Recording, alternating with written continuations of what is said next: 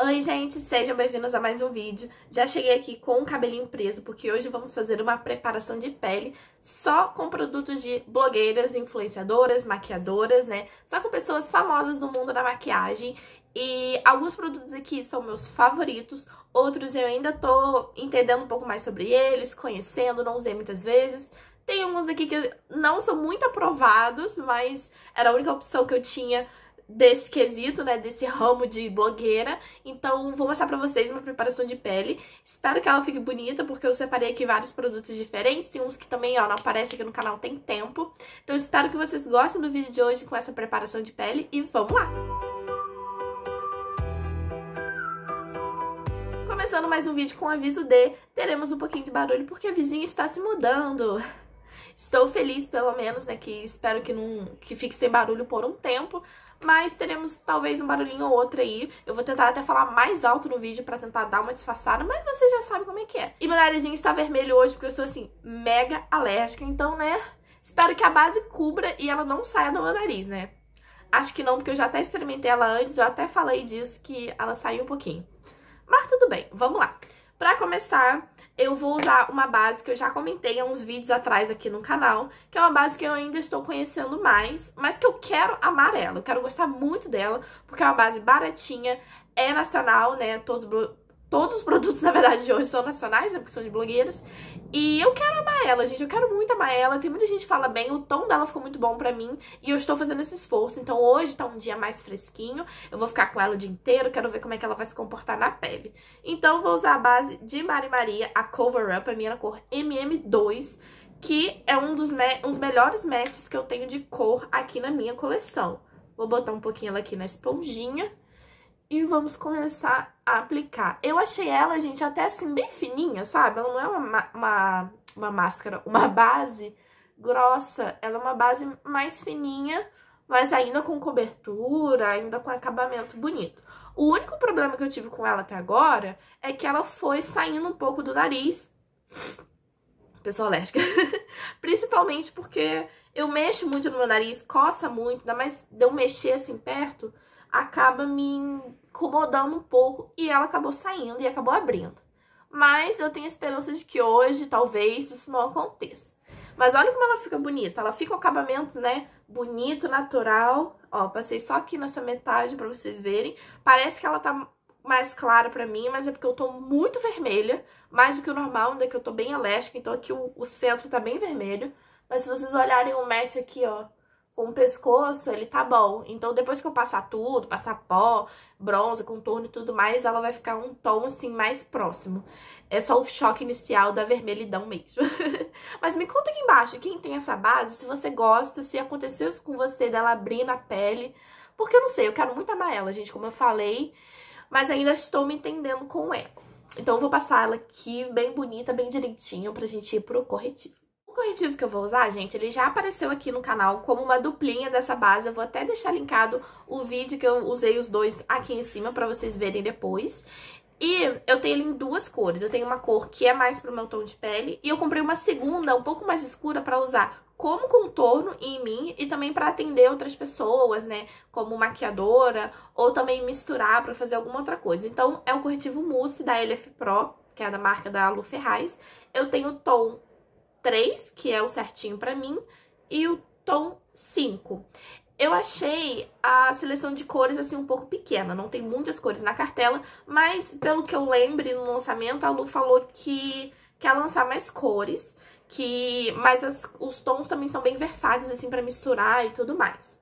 Eu gostei da textura desse corretivo, eu gostei que quando ele seca, ele dá uma cobertura um pouquinho maior, tô até procurando aqui onde passar, e o tom dele eu gostei muito, esse tom aqui 3. Eu não tenho muitas reclamações a fazer dele, mas assim, não é o corretivo com maior cobertura que eu tenho, sabe? Eu acho que o meu corretivo favorito da vida ainda segue sendo o da NARS, o Radiant Creamy, porque ele é perfeito. Se eu deixar ele ali num cantinho e ele secar, ele vai cobrir. E o da Too Faced também, só que o da Too Faced é um pouco amarelo pra mim. Ele não é perfeitamente o meu tom. Esse aqui se assemelha mais com o da NARS, que o meu é tom vanilla, Mas eu gostei dele, tô gostando, a experiência tá sendo boa. É um corretivo que eu recomendaria pra vocês, sabe? Então eu vou passar ele aqui e vou passar o outro como contorno para vocês verem como fica bem bonito. Ele fica um contorno assim, bem esfumado, bem natural. Não vou passar os dois ao mesmo tempo, porque senão o contorno vai secar e vai ser um pouco difícil, né, de esfumar. Mas eu vou passar aqui bonitinho eu volto pra gente passar blush iluminador, que o blush, gente, é um dos meus favoritos e eu não lembro se eu já usei ele aqui no canal. Você acredita nisso? Mas olha como ele fica, o contorninho, né? Com um corretivo mais escuro. Hoje eu passei bem de levinho. Eu não queria ele muito forte, porque eu quero caprichar mais no blush. Mas se você quiser ele mais intenso, ele também fica lindo. Ele fica com um fundo de cor bem um tom de bronzer quente. Ele fica lindo. E o pó, gente, vocês já devem saber qual é. Que é o pó que eu tô mais viciada desde que eu comprei. É o pó da Fran. Eu não vou virar muito, porque ele já tá aqui na tampinha. E eu gostei muito dele. Eu tô usando muito ele porque gostei e também é o único pó que eu tenho assim grande. Eu tenho os menores da Becca, eu tenho uns minis da Laura Mercier, mas esse aqui eu tô assim sem dó de usar porque ele é muito grande. Porém, eu quero experimentar outros pós também. Um que eu tô com muita vontade de comprar é o da Boca Rosa. Vocês gostam dele? Me conta aqui embaixo se ele vale a pena. Eu quero experimentar também a base, o corretivo da Boca Rosa, porque eu não tenho. É, é um plano meu de comprar, talvez eu compre mês que vem. Eu não sei quando que esse vídeo vai ao ar. Se por acaso eu já tiver comprado esses produtos da Boca Rosa já tiver postado, deixarei linkado aqui. Se não, vocês vão ver ainda em breve no canal. então já se inscreve aqui embaixo, já deixa seu like no vídeo, recomenda para as amigas, porque só tem conteúdo maravilhoso aqui, eu tenho certeza que vocês vão amar. Passei aqui, ó, só desse lado para vocês verem como ele matifica, mas a pele, ó, ainda tá com um certo viço, que vocês conseguem ver quando eu me mexo, mas a base não vai sair do lugar, porque ele matifica de um jeito que fica colado no seu rosto. Então, ó, desse lado tá só com base corretivo, desse lado matificada. Dá pra ver bem a diferença e ele não muda o tom. Vocês conseguem perceber isso? Que ele não oxida. Por isso que eu gostei muito desse pó. Porque o meu maior medo é pó... Ele é um tiquinho cor, olha, é meio tipo uma areiazinha, o tom dele. Mas meu maior medo com pó é realmente mudar o tom da base, deixar mais amarelado ou acinzentado. E esse não fica isso, então eu dei, eu dei muita sorte de ser o primeiro pó grande assim que eu comprei. E tô gostando muito dele, assim, é um recomendado top, assim, meu. Tipo, é um dos meus favoritos. Então, podem, podem comprar esse pó sem medo. Ele tem, acho que são três tons. O meu primeiro, que é o 01, acho que é Plush o nome desse pó. E gosto bastante dele. Vou terminar aqui de passar o pó. E já vou arrumar minha sobrancelha. Eu só vou... A sobrancelha não é preparação de pele, né, gente? Mas eu arrumo a minha sobrancelha enquanto eu estou fazendo a pele é, justamente para dar tempo assim de assentar um pouquinho corretivo ou assentar um pouquinho pó. Então eu vou citar aqui quais produtos eu vou usar hoje, que é essa duplinha da linha Bruna Tavares. Gente, eu quero muito amar os produtos da Bruna, porque o marketing deles é incrível, são produtos revolucionários para o mercado, com certeza. Mas eu não sei o que acontece, que eu não amo de paixão nenhum. Tem uns que eu gosto, que eu até uso, e tem outros que eu compro na maior hype, meu Deus, vai ser incrível, e sempre tem alguma decepção. Fico um pouco chateada com isso, quero muito comprar alguns produtos dela ainda, testar coisas novas. Mas esses produtos aqui de sobrancelha, eu fiquei bem interessada, ansiosa, porque, gente, cabelo ruivo é muito difícil produto de sobrancelha. O único que tinha, eu acho que era da Mari Maria, só que é uma pastinha, e eu não gosto de pastinha. Quando a Bruna falou que ia lançar esses dois, que é uma lapiseira e um gel, eu fiquei assim, enlouquecida, porque eu amo gel com cor. Ela ia lançar gel com cor, mas só lançou gel transparente. Já fiquei um pouco triste aí. E lápis não é uma coisa que eu use muito, mas eu gosto de ter, porque às vezes eu quero só passar um gelzinho e dar uma preenchidinha entre as falhinhas, sabe? Então é bom ter. E o tom desse lápis é perfeito pra mim. O meu é na cor Amber, que é pra ruivas, né? E olha esse tom. O lápis em si, eu até gostei, mas eu não gostei dessa escovinha que ela, é, ela não é aquela escovinha tradicional que eu gosto mais, que eu acho que ela penteia melhor, ela pega os fios melhor. Essa daqui, ela é boa pra você só esfumar o pincel, esfumar a cor dele, ó. Ela esfuma bem, mas ela não alinha os pelos do jeito que eu quero que alinhe, sabe? E o gel, eu até comentei num outro vídeo, que, gente, não sei, não sei qual é a dele. Eu não sei se o meu tá muito novo ainda também. Eu achei que ele ia ser um gel um pouquinho mais grosso, um pouquinho mais firme, que ia segurar melhor os pelinhos. Mas eu achei ele um pouco ralo e ele pesa, mesmo sendo ralo, ele pesa no meu cílio, no meu cílio, no meu pelo, aí a sobrancelha cai e ela não fica do jeito que eu queria. Eu tenho que esperar ela secar um pouco, quando ele tiver um pouquinho mais durinho, aí eu tenho que vir com outro pincel e modelar ela. Ou seja, não achei muito prático. Mas vou arrumar minha sobrancelha com esses dois produtinhos, terminar o pó e aí a gente fecha o vídeo de hoje com blush e iluminador. Já o blush é um dos produtos que eu acho que eu mais gosto da linha Bruna Tavares que é o blush Hibisco, que é o laranjinha. Eu tenho nessa embalagem antiga, mas eu comprei há pouco tempo, foi ano passado. Já tinha lançado a embalagem nova e eu só comprei porque tava tipo 11 reais, 14 reais, não lembro agora. Foi uma super promoção do site da TB Make, porque tava lançando os, a, a, embalagem nova, né, do blush. E é um blush que era muito falado, eu sempre tive interesse em conhecer. Eu comprei esse, que é o hibisco, que é laranjinha. E eu comprei o magnolia, que é mais um tom, assim, nudezinho rosa queimado dia a dia. Gostei muito dos dois. O magnolia, a minha mãe acabou ficando com ele, que ela gostou bastante. E eu amei esse hibisco, ele é um tom de laranjinha que eu amo. Ele é bem pigmentado, mas ele fica... Ai, gente, um chuchuzinho, sabe? Eu amei ele. Então, vem assim, ó, esfumando bem. Ainda mais com a pele selada, ele esfuma muito bem. E a fixação dele é ótima. Esse é um produto, assim, gente, que eu amei.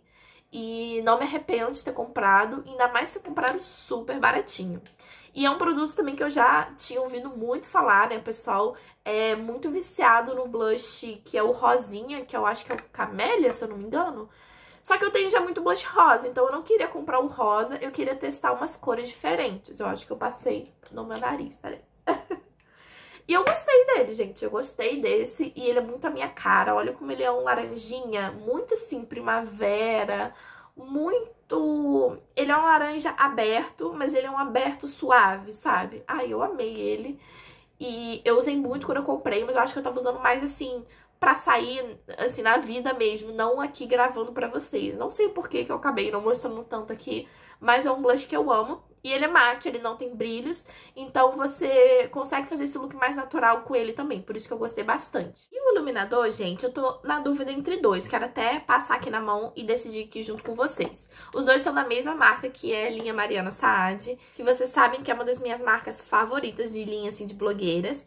Eu tenho o Just Glow, que é esse tom, o buquê, que ele é um rosa mais cintilante, ele tem uma textura meio molhada. E eu tenho o Instique, que é o Candy Glow, que ele é mais rosado, ele é um tom de rosa diferente. E ele é cremoso, ele é Instique, né? Vou até passar aqui na mão pra gente ver. Esse é o Candy Glow. Tem a versão dele douradinha, mas como eu já tenho iluminador em stick douradinho, assim, champanhe, gostei mais desse rosa, eu achei mais diferente, né, pra comprar. Então, esse é o Candy Glow, ó, vamos ver até como ficaria aqui. E eu vou passar o Just Glow aqui do lado para vermos a diferença. Gente, esses dois eu acabo não usando muito. Passei em cima de onde estava o, o pincel de sobrancelha, o lápis de sobrancelha, né? Não pensei. Assim, eu acho os dois lindos, são propostas um pouco diferentes, o tom deles. Esse é mais um rosé e esse é rosa mesmo. Só que eu acho que eles ficam fortes demais no meu tom de pele. Eles acabam aparecendo muito fundo de cor. Apesar de eu querer amar demais eles, são produtos que eu não uso muito. Eu acho que eu vou no buquê, que tem mais tempo que eu não uso, e eu acho que ele vai ficar um pouquinho mais discreto, ó, que dá pra ver de lado. Ele aparece menos do que o Candy Glow, né?